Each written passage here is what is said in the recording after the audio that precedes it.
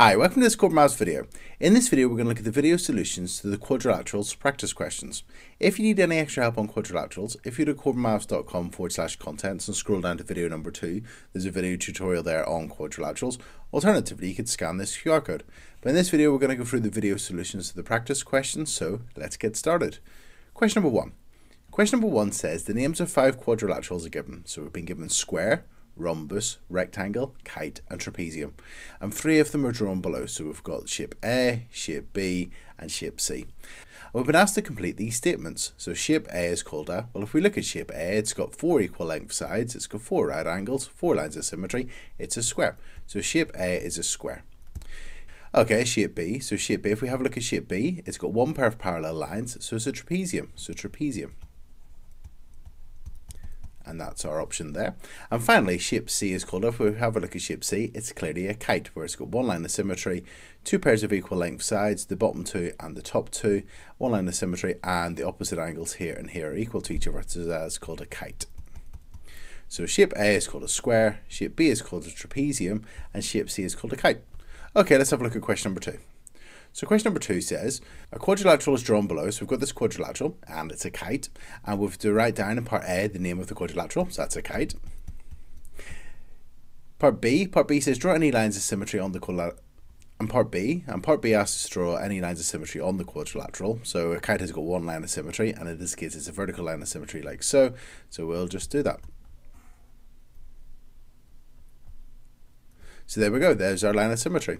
So part A, we were asked to write down the name of the quadrilateral, so it's a kite. And part B, we're asked to draw any lines of symmetry on the quadrilateral, so we've got that vertical line of symmetry. Okay, question number three.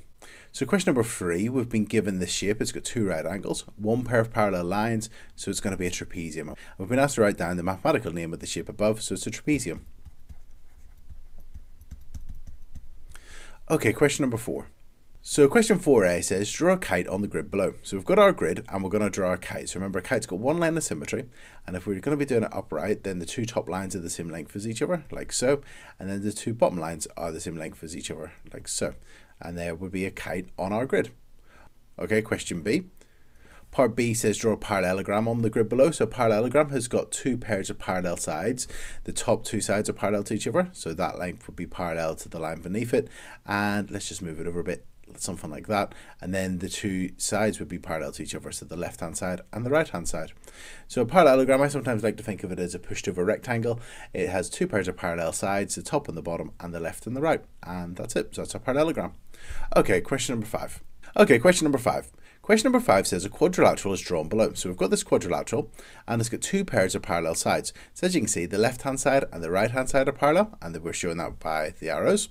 And the top is parallel to the bottom. And again, because we've got two arrows on each of them, that means that they're parallel to each other. And part A says, write down the name of this quadrilateral. It's a parallelogram. Parallelogram. And part B, part B asks us how many lines of symmetry does the shape have? Well, a parallelogram actually doesn't have any lines of symmetry. If you tried to do a vertical line of symmetry, this point would fold over here somewhere, and this point would fold over there somewhere. If you tried to do a horizontal line of symmetry, this uh, point would fold down there somewhere. So it wouldn't have any lines of symmetry, so zero. And part C asks us to draw a quadrilateral with two lines of symmetry. Well, I'm going to draw a rectangle for this one. So a rectangle would have two lines of symmetry, so it would look something like this. So would have a vertical line of symmetry and a horizontal line of symmetry. So that would be a quadrilateral, a rectangle, with two lines of symmetry, a vertical line of symmetry and a horizontal line of symmetry. Okay, let's have a look at our next question. Okay, let's have a look at our next question. Question number six. There are two quadrilaterals below. So here we've got a quadrilateral and here we've got a quadrilateral. And we've been asked to write down the names of each quadrilateral. So our first one is a rectangle. So let's write that down, a rectangle. And our second quadrilateral is a parallelogram. So parallelogram. And part B, we're asked to draw a rhombus in the space below. So a rhombus is a four-sided shape where all four sides are the same length. The opposite angles are equal to each other and it would have two lines of symmetry. So that's a rhombus. Okay, question number seven.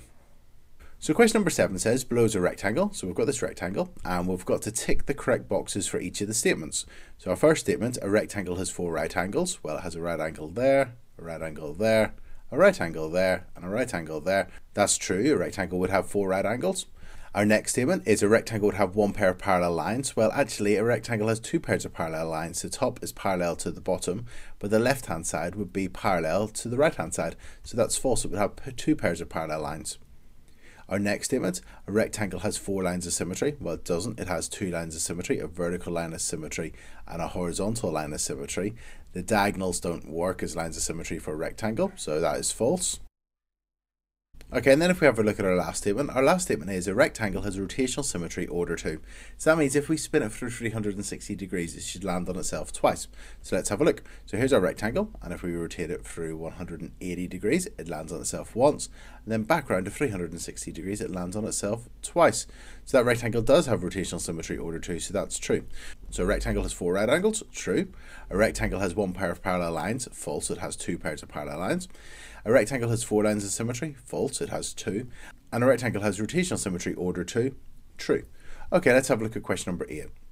Okay, question number eight, we've been given a list of quadrilaterals, kite, rectangle, rhombus, square, and parallelogram. And for each of the following descriptions, we have to choose the correct name from the list. So part A says four right angles. So I'm thinking of a rectangle or a square here. It has two lines of symmetry. Well, it's not then going to be a square. Square has four lines of symmetry, so our answer would be rectangle. Okay, part B. Part B says two pairs of parallel sides. Well, that could be a rectangle, rhombus, square, parallelogram. It just rules out a kite because a kite doesn't have two pairs of parallel sides. The opposite angles are equal, okay, and it's got no lines of symmetry. Well, a rectangle has two lines of symmetry, a rhombus has two lines of symmetry, a square has four lines of symmetry, and a parallelogram has no lines of symmetry. So that means that part B will be a parallelogram. So parallelogram.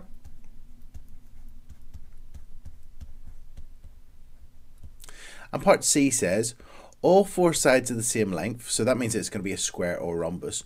But there's no right angles, so that means it's going to be a rhombus. It's not going to be a square because a square has four right angles. So that would be a rhombus. Okay, let's have a look at our next question. Question number nine. So in question number nine, we've been given the names of three quadrilaterals, a square, a kite, and a parallelogram. And we've got to write each name in the correct position in the table. So we've got two columns, line symmetry and no line symmetry. So if it's got line symmetry, it goes in either this box or this box, or if it has no line symmetry, it goes in that box or that box. And then in terms of our rows, we've got two pairs of parallel lines and no pairs of parallel lines, so there are options. So let's start off with a square. A square has line symmetry, so it's going to go in either of these two boxes. A square does have two pairs of parallel lines. The top's parallel to the bottom, and the left-hand side is parallel to the right-hand side. So a square is going to go in here because it has two pairs of parallel lines, the top and the bottom, and the left and the right, and it's also got line symmetry. Okay, our next shape, our next shape's a kite. So a kite has line symmetry, so it's going to go in either one of these two boxes. And we've got the options of either two pairs of parallel lines, so a kite doesn't have any pairs of parallel lines, or no parallel lines, so that's going to be a kite. So a kite will go there. Our next shape, so our next shape is a parallelogram, so that doesn't have any lines of symmetry, so it's going to go in either of these two boxes. And it does have two pairs of parallel lines, the top and the bottom, and the left and the right. The hint's in the name, parallelogram, so it's going to go there, parallelogram. Okay, question number 10. Okay, question number 10. We've been asked to complete the table below. So we've got this table with square, rhombus and trapezium. So I've drawn a square a rhombus and two trapezia. So we've got a trapezium, which is one with a line of symmetry, and another trapezium, which doesn't have a line of symmetry. So there's two possible trapezia there. And trapeziums, trapezia. And we've been asked to complete the table. So let's start off with our top row, which is the number of pairs of parallel sides. So a square we've been told has got two pairs of parallel sides, and that makes sense. The top is parallel to the bottom, and the left-hand side is parallel to the right-hand side. So it's got two pairs of parallel sides a rhombus. A rhombus also has two pairs of parallel sides, so that side and that side would be parallel, and this side and this side would be parallel, so it's got two pairs of parallel sides. A trapezium, well a trapezium only has one pair of parallel sides. Here you can see the top and the bottom, and here the top and the bottom also. It could be standing upright, it might be the left hand side and the right hand side, but a trapezium will only have one pair of parallel sides. And then we're asked, are the diagonals equal in length? And we've got to answer yes or no. So let's draw the diagonals on each of them. So the square, there's a diagonal in green from there to there and there to there. That would be the same length for each of those. So the answer for the square will be yes, the diagonals are the same length. Okay, now the rhombus. So let's draw the diagonals by joining up the opposite corners of the quadrilateral. So there and there. They're clearly not the same length as each other, so the answer for the rhombus will be no. And then for a trapezium, we're asked, are the diagonals always equal in length? Now, we're told the answer is no. Let's have a look and see why. If we've got this trapezium, the diagonals are equal in length there and there. But we can also have trapeziums, trapezia, where they're not equal in length. Those two aren't the same length as each other, so they're not always equal in length. So, no. Okay, question number 11. So question number 11 asks us to draw a quadrilateral that has got rotational symmetry order 2. So that means that if we spin it in a full circle, it'll land on itself twice.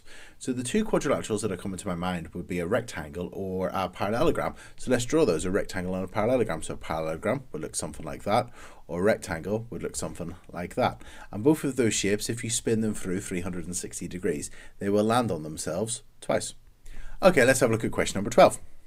So question number 12 says, James draws a quadrilateral with two pairs of equal length sides. So he's drawn a quadrilateral with two pairs of equal length sides. He says the quadrilateral must be a rectangle, as shown here. So the top is equal length to the bottom, and the left-hand side will be an equal length to the right-hand side. So he's correct with that. Or a parallelogram. So as you can see, the top length is the same length as the bottom length, and the left-hand side is the same length as the right-hand side. So explain why James is incorrect. So he says that the quadrilateral must be a rectangle or parallelogram. So those two are quadrilaterals with two pairs of equal length sides, but are there any more? Well, let's have a look at this one. But it could also be a kite because a kite has two pairs of equal length sides as well. As you can see, the top length here and this top length are equal length to each other, and the length at the bottom here and this side are equal to each other. And remember, a kite's got that one line of symmetry, so the opposite sides would be the same length as each other. So the, a kite is an example of a quadrilateral that could have two pairs of equal length sides, but isn't a rectangle or a parallelogram, so James is incorrect. It could also be a kite. It could be a kite. Um, it could also be a delta. So as you can see, here's a delta. The top lengths and the bottom lengths are equal to each other as well. Okay, question number 13. So question number 13. Question number 13 says, Maisie draws a trapezium. So I've drawn three possible trapezia, or trapeziums, whichever the plural of trapezium you want to use. So we've got three possible trapezia here that I've just sketched. One with a line of symmetry, one with right angles and not a line of symmetry, and I've just drawn a vertical one here just for fun. And we've got four statements. So a trapezium has one pair of parallel lines, a trapezium has one line of symmetry, a, a, trapezium has rotational symmetry order 2, and all sides of a trapezium have different lengths. And we've got options of true, maybe true, or false. So the first statement is a trapezium has one pair of parallel lines. Now that's a key feature of a trapezium that it has one pair of parallel lines. So that's definitely true. As you can see, the top's parallel here to the bottom, the top's parallel to the bottom. Here, the left-hand side is parallel to the right-hand side. So that is true. Our next statement, a trapezium has one line of symmetry. Well, as you can see here, this one would have one line of symmetry vertically, but these two don't have any lines of symmetry, so that may be true. Our next statement, a trapezium has rotational symmetry order 2. So that means that if we spin it in a full circle that it'll land on itself twice. Well that's not going to be true, that if you took this trapezium and you span it around, it would only land on itself once. So it wouldn't have rotational symmetry, or we call that it's got rotational symmetry order 1, but it definitely hasn't got rotational symmetry order 2, so that is false. And our last statement is all sides of a trapezium have different lengths. So if you look at this one, this one, they look like they all do have different lengths. And this one, they look like they've all got different lengths. But if you look at this one with the line of symmetry, the left-hand side and the right-hand side would have the same length as each other. So it may be true that they are all different lengths, but it may not be true. So that's going to be maybe true. And that's our options. True, maybe true, false, and maybe true. Okay, let's have a look at our last question. Question number 14. Okay, question number 14. So question number 14, our last question says, James wants to draw a quadrilateral CDEF such that CD equals 4 centimetres, the angle CDE equals 90 degrees, CD is twice the length of DE, CF is parallel to DE and CF equals 5 centimeters. And we've been asked to complete CDEF on the centimeter grid below. So let's have a look at our key information and look and see what we've been given so far. So we're told that CD is equal to 4 centimeters and it's a centimeter square grid so it's 1, 2, 3, 4 so that is 4 centimeters long. Fantastic. We're then told the angle CDE, so CDE, so it's 90 degrees, so that means that E will have to be along here somewhere. It could possibly be on this side, but there's not much room, so I'm going to think that E is going to be along here somewhere. Now we're told that the line CD, this line, is twice the length of the line DE. Now if CD is equal to 4 centimeters and it's twice the length of DE, that means DE must be equal to 2 centimeters because CD is twice the length of DE. So we know the point E is along this line somewhere because there's a right angle, 90 degrees, CDE, and we know that the line DE is 2 centimeters. So that means that the point E must be here. The point E is there, such that that's a right angle and that that line is 2 centimeters long. So we've done part of the quadrilateral so far. We're then told that CF, so the point F is going to be somewhere else on this grid and we're going to join it up to be a quadrilateral. We're told that CF is parallel to DE. So DE is here, so that means that CF, F must be along here somewhere so that CF is parallel to DE. And we're told that CF equals 5 centimeters. So if we go back here, let's do 5 centimeters. 1, 2, 3, 4, 5. So that means the point F must be there. So let's join those up and see what we get. So we've joined it up and we've made our quadrilateral, so our trapezium, and let's just double check all the, the conditions and check we've got it right. So CD equals 4 centimeters. Yes. The angle CDE is 90 degrees. That's correct. So we know that point E had to be along this line somewhere. Next, CD is twice the length of DE. So CD was 4 centimeters, so we halved it to get 2 centimeters. So that means the E must have been here, so there. We're told that CF is parallel to DE, so we then knew the point F had to be along this line somewhere. And then we were told that CF equals 5 centimeters, so we counted 1, 2, 3, 4, 5 centimeters. So that means that that line is 5 centimeters, and that's the shape on the grid. So we've completed it. And that's it. So these have been the video solutions to the quadrilaterals practice questions on Corbettmaths. I really hope you found it useful. And if you have found it useful, please like it and please subscribe to the YouTube channel. If you do need any extra help on quadrilaterals, if you go to corbettmaths.com forward slash contents and scroll down to video number two, there's a video tutorial there on quadrilaterals. Alternatively, you can scan this QR code. But as I said, I hope you found this video useful. If you have found it useful, please like it and please subscribe to the YouTube channel. Thank you. Cheers. Bye.